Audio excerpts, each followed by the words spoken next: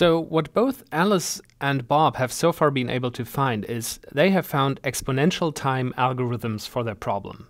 And they haven't been able to come up with anything better so far.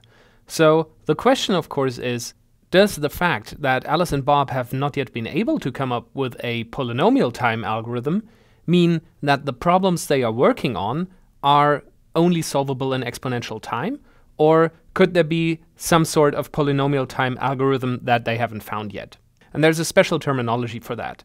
So, problems or computer problems where you only have exponential time algorithms are called intractable problems.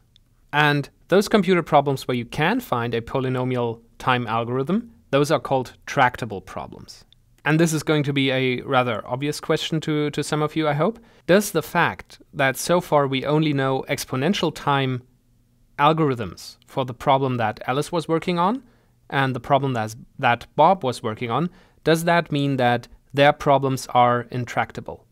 Or, in other words, can we already say whether Alice's or Bob's problems are intractable or tractable?